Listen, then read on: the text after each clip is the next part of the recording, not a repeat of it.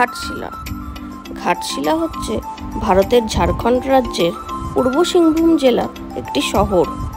এই শহরটি সুবর্ণরেখা নদীর তীরে অবস্থিত।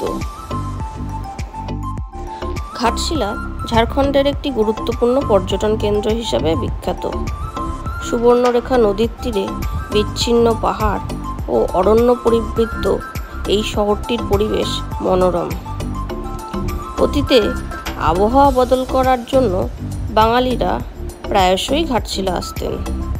অনেক বাঙালি এখানে বাড়ি কিনেও থেকে গেছেন।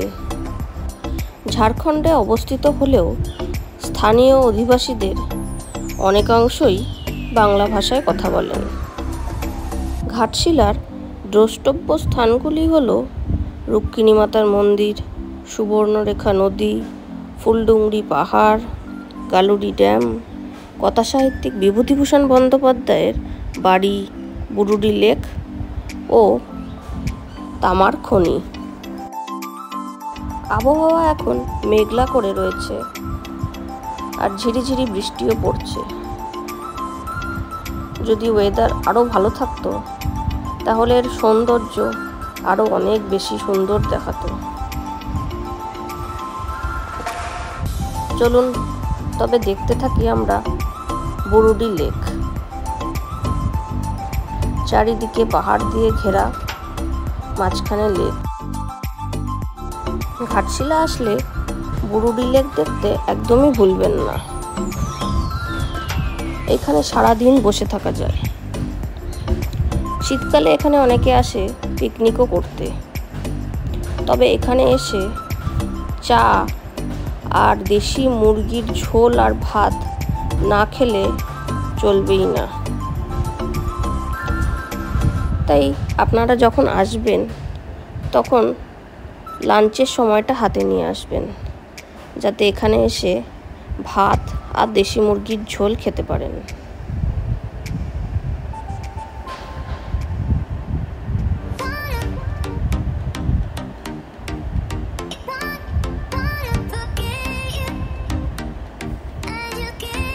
বৃষ্টি পড়ছে বলে বেশিক্ষণ থাকা গেল না। তাই বিদায় নিতে হলো।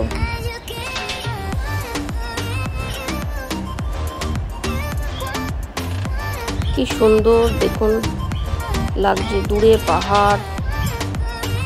জলটা পুরো কাঁচের মতন মসৃণ লাগছে। চাইলেই এখানে অনেকক্ষণ বসে থাকা যায়।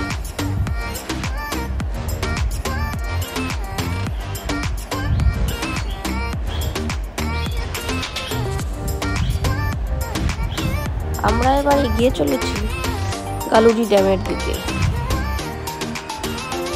এই গালুরি ড্যামও খুবই সুন্দর। বর্ষায় ড্যামের সৌন্দর্য আরও বেশি। জলের স্রোত কি সেটা বর্ষাকালেই বোঝা যায়।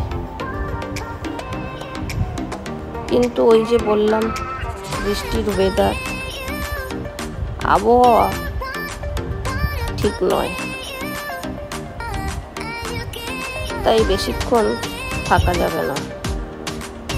কারণ এইসব পাহাড়ি জায়গায় খুব ভয়ঙ্করভাবেই বাজ পড়ে।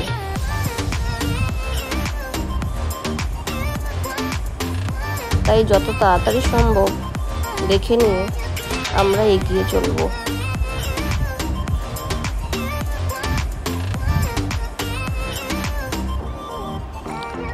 গাড়িতে বসে দেখুন কাঁচের ভেতর থেকে কি সুন্দর লাগছে। তাহলে গাড়ি থেকে নামলে কতটা সুন্দর লাগবে ভাবুন।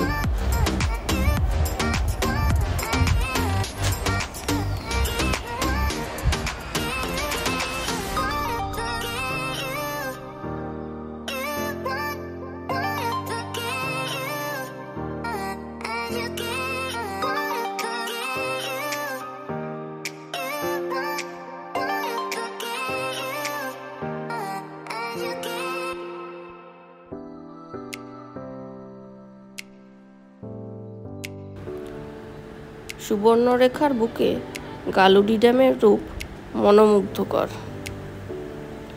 গালুডি ড্যামে আঠেরোটি গেট আছে আর বর্ষায় এই গেটগুলির মধ্যে থেকে কিছু গেট খুলে দেওয়া হয় জল বের করার জন্য। ব্রিজের ওপর দিয়ে ট্রেনের আওয়াজকেও হার মানায় এই জল ভাঙার শব্দ। শীতকালে পর্যটকরা এখানে খুবই আসেন। আর গালুরি ড্যামের এই মনোরম পরিবেশকে উপভোগ করেন। তাই যারা এখনও দেখেননি, তারা শীঘ্রই চলে আসুন এই শীতকালে। সুবর্ণরেখা থেকে অনেকেই আবার মাছ ধরেন। সেই টাটকা মাছ বিক্রিও করা হয়। সেই মাছের টেস্ট অপূর্ব। বৃষ্টি নেমে পড়েছে আবার, তাই এগিয়ে যেতে হচ্ছে বাড়ির দিকে। যাওয়ার পথে আরেকটা জায়গা হয়ে যাব। এটাও সুবর্ণরেখার একটা ব্রিজের ওপর দিয়ে আমরা যাচ্ছি। এটা ঘাটশিলার হিন্দুস্তান কপার ব্রিজের ওপর দিয়ে। তাই এখানেও দাঁড়িয়ে থেকে সময় কাটানো যায়। কিন্তু বই যে বললাম, বৃষ্টি পড়ছে।